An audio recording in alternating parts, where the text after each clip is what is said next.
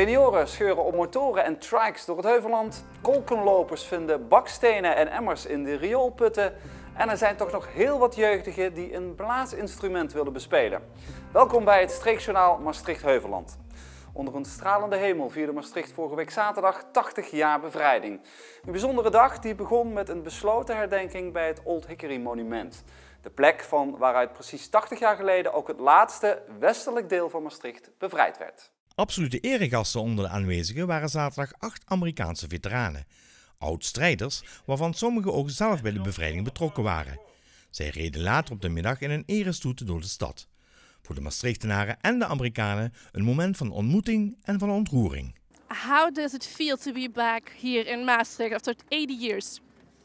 Uh, it's mixed feeling because you know I think about how many uh, persons who came to liberate this country, you know, did not survive. And yet it's joyful to see all the people coming out to see us who survived. I appreciate that so very much. I am 100 years old, and of course, when I reflect on the time when I was 18 and back here during the war, it's a mixed emotion.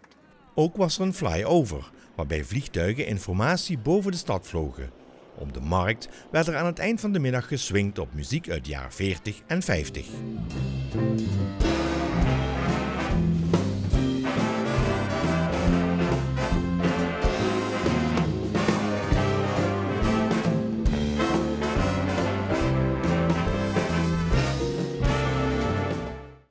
Bewoners van zorgcentrum Oosterbeemd en verpleeghuis Valkenheim in Valkenburg hadden vorig weekend een onvergetelijke ervaring.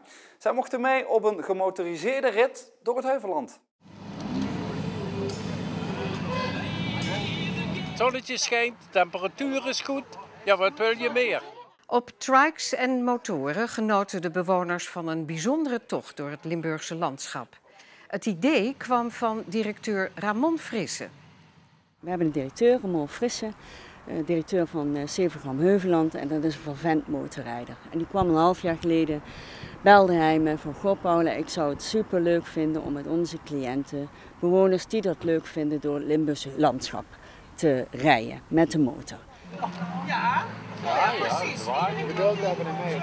Het is niet iets wat je elke dag doet hè. En uh, dit is voor ons voor mij is het althans uh, de eerste keer in mijn leven eigenlijk in zo'n apparaat te mogen zitten. Ja, normaal doen we meer voor, uh, zeg maar voor gehandicapten en wat minder bedeelden. Dat is een keer wat anders. Gewoon omdat het leuk is. Hè. Kunnen de ouderen een leuke dag bezorgen, denk ik, hoop ik. Misschien zijn ze er bij u in de straat al voor geweest. De jaarlijkse kolkenreiniging. Maastricht telt 38.000 rioolputten langs straten en stoepen die ervoor zorgen dat regenwater goed wegstroomt. Maar ze vangen, zeker nu de eerste blaadjes vallen, ook heel wat straatvuil op. Door de vele regenval van de laatste tijd is het belangrijk dat de afwatering continu in de gaten wordt gehouden. Moeten die kolken nu niet wat groter worden? Dat is iets uh, waar we continu mee bezig zijn. Uh, het is niet alleen de kolk uh, die ervoor zorgt dat het water van de straat afkomt. Dus we zijn ook op gebieden zijn we bezig om het water daar waar het valt ook te houden. dus dat wil zeggen dat we het water gaan geleiden naar stukjes groenvoorziening of, of andere gebieden. maar zeker daar waar nodig is kunnen wij kolken vergroten. Ik moet er eerlijkheidshalve bij zeggen dat de kolken van, uh, van de gemeente Maastricht uh, dat die, uh, best wel robuust zijn. Dus die zijn van de basis uit, zitten er al best grote kolken hier in de weg. Maar in die grote kolken, daarin verdwijnt wel eens wat. Salvatore, die met zo'n negen dienstjaren een van de oudste kolkenlopers van de stad is, weet er alles van. Je kunt van alles tegenkomen. Je zag net zelf bakstenen, wat mensen erin gooien. Ze gooien soms ook gewoon emmers erin. Het is wat ze erin kunnen krijgen, gooien ze er soms in. Dus, en wat betekent dat voor jullie dan? Extra werk. Want je moet stoppen, het duurt langer. En ja, het verstopt de, de kolken. Met een hevige regenbui, ja, dan moeten wij ook weer extra uitdrukken. In de Valkenburgse gemeentegrot vond dinsdag een uniek moment plaats. Blokbreker Ver Rouet brak het laatste stuk mergel door van een 9 meter lange gang. Hierdoor worden twee grotten in het ondergrondse pantheon van carnavalsvereniging de Mierlitofiel met elkaar verbonden. Nou, eh, elke print wordt gewoon vereeuwigd met een portret. En uh, kun je zien, ik ben hier vereeuwigd in 1996. Dat is ook echt heel mooi als prins zijn dat je hier gewoon vereeuwigd is. En dat geeft je toch als Valkenburg toch een heel apart gevoel. En die bijzondere vereeuwiging wil de carnavalsvereniging ook gunnen aan de toekomstige prinsen. Maar daarvoor moet er wel ruimte zijn en dat was een probleem. Daarom waren ze de afgelopen dagen bezig om een nieuwe hal te creëren. Vandaag was het moment dat de hal daadwerkelijk werd doorgebroken.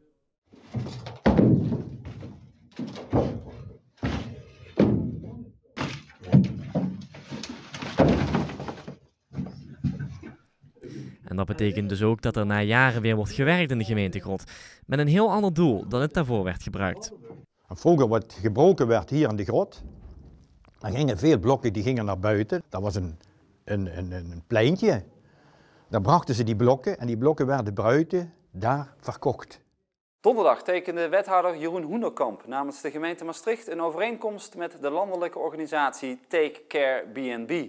Die plaatst vluchtelingen die wel een verblijfsvergunning hebben, maar nog geen woning, enkele maanden bij gastgezinnen in huis. Dit om hen sneller de Nederlandse taal, gebruiken en gewoonten eigen te laten maken. Onderdeel van een samenwerkingsovereenkomst met de gemeente, met de wethouder die net ook wat getekend is, is dat, we, dat de gemeente extra effort maakt om ook te zorgen dat op het moment dat er een logeerpartij is, na die drie maanden, dat er ook vaart zit in uh, oplossingen ten aanzien van uh, definitieve huisvesting. Dus uh, we gaan in eerste instantie voor een jaar proberen. Uh, maar ik ga ervan uit uh, dat er gezinnen zijn die dat willen. Het is overigens heel vrijwillig. Hè. Ik denk dat het in heel veel gevallen in gezinnen ook niet past. Uh, maar er zijn veel mensen die ruimte hebben in hun, in hun huis, in hun hoofd en in hun hart om dat wel te doen. En aan hen wil ik vragen om hun huis open te stellen. Ik denk dat heel veel mensen denken van waar begint die vrouw aan? Ze levert haar privacy in. Ja, maar zo voel ik dat niet. Ik voel dat helemaal niet zo. Ik lever mijn privacy niet in. Saad heeft zijn privacy alleen geleverd. Die heeft met tien man op een kamer gewoond in de AZC. Die heeft helemaal niks. Zijn familie zit daar. Die zit op een kamertje bij een vreemde.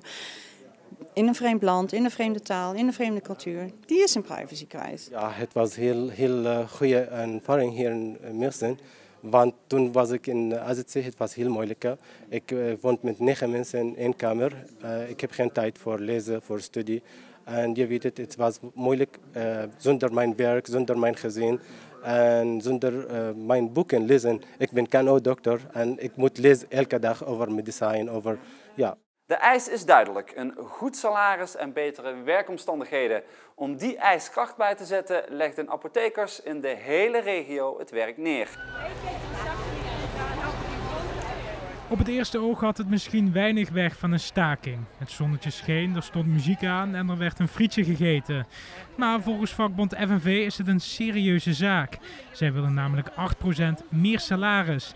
Toch gaat dat nog niet zo gemakkelijk. Nou ja, de werkgevers zeggen we hebben gewoon onvoldoende uh, financiële middelen gekregen vanuit uh, de zorgverzekeraars. Uh, en dus kunnen wij de loonsverhoging niet betalen. zorgverzekeraars die zeggen tegen ons wij hebben het gegeven, maar ze hebben het niet gebruikt. Dus uh, ja, we worden een beetje voor de gek gehouden. Oftewel, we worden aan het lijntje gehouden door partijen. We zijn natuurlijk zorgmedewerkers en komen altijd voor de patiënten op. Proberen altijd heel netjes en keurig uh, ons dingetje te doen. Zo zijn ook opgevoed. Maar nu is de maat vol. En in eerste instantie ben ze natuurlijk bang van... Hey, ken ik dat wel? Mag ik dat wel? Ha, want krijg ik misschien het briefje hoeft niet meer te komen. Maar dat is gelukkig niet. En daarom zijn we ook lid van een bond en die helpen ons ermee. En dan nog dit. In het gemeenschapshuis van Gronsveld kwamen afgelopen week de leden van het regionaal jeugdharmonieorkest samen om te repeteren. Het orkest dat sinds 2011 al twee keer eerder een uitvoering gaf, is samengesteld uit de korpsen van Wolder, Heugem, Ambi, IJsden en Gronsveld. Ja, dit is super uh, bijzonder. Uh, vijf verenigingen, zoveel jeugdige muzikanten die met muziek bezig zijn en die we voor dit project samenvoegen tot een orkest van meer dan 100 personen. Ja, dat is, uh, dat is geweldig, dat is uniek en mooi en dat laat zien dat de blaasmuziek leeft in Zuid-Limburg. Gelukkig. Het zijn niet alleen jeugdmuzikanten, overgrote deel wel. Maar waar we de laatste jaren ook steeds meer mee te maken krijgen, zijn zij en stromers. Dat zijn vaak ouders van de kinderen die in opleiding zijn. En die zeggen, oh ik vind dat ook leuk, ik wil ook wat gaan doen. Dus er zitten straks ook enkele ja, grotere jeugdleden bij. Het klinkt streng, maar we zitten nu in de fase dat het uh, om de worst gaat. Ja? 1, 2, en.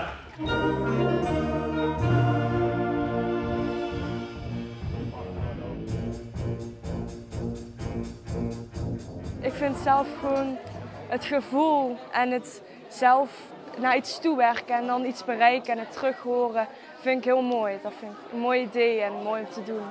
Nou, omdat het me heel leuk leek om mee te doen in een orkest en ja, samenspelen ook gezellig. Ik kende buiten de horenissen waar ik zelf mee speel, ken ik eigenlijk niemand van andere verenigingen. En je merkt wel dat op deze manier je toch meer mensen leert kennen binnen de muziekwereld, van jouw eigen leeftijd ook.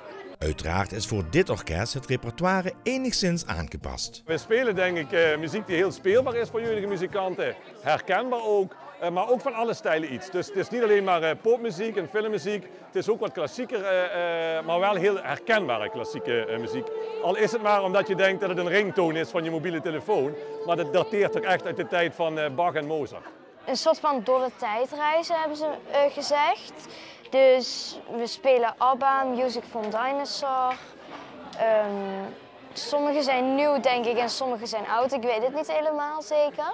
We spelen een processiemars, maar we spelen ook uh, van Celine Dion, My Heart Will Go On. Dus het gaat uh, van hier naar daar. Het is helemaal verschillend.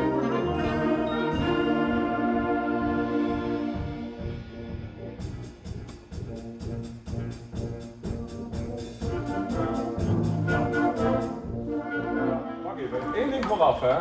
super concentratie en ik kan niet meer partijen gaan instuderen. Dat scheelt echt niet. Wij zijn tevreden als we met z'n allen een mooie dag kunnen maken op zaterdag 5 oktober in het MAC. Met veel publiek? Met veel publiek en tevreden muzikanten. Die blijven musiceren? Die blijven musiceren, want dat is een heel belangrijke insteek. Ik denk dat ik mijn baan ervan wil maken, maar dan ben ik wel nog even bezig. Je wil muziekdocent worden? Mm Of professioneel muzikant? Muziekdocent. Uh, nou, ik zit zelf toevallig nu erover te denken om misschien naar het conservatorium te gaan. Maar dat weet ik nog niet helemaal zeker. Dus. En wil je straks ook bij de grote harmonie? Ja, uiteindelijk wel. Dirigent Mark Hoebe juicht het overigens toe als ook op andere plekken een dergelijk initiatief wordt opgepakt. Dit jeugdorkest heeft qua deelnemers wel de max bereikt. Want het is, lijkt een luxe, zeg maar, zo'n groot orkest. Het is soms ook wel eens uh, nou, enigszins belemmerend. En dan bedoel ik dat helemaal niet negatief ten opzichte van die kinderen. Maar ja, uh, om met 100 man gelijk te spelen is moeilijker dan met 50 man. Dus uh, groter dan dit moet het ook niet worden.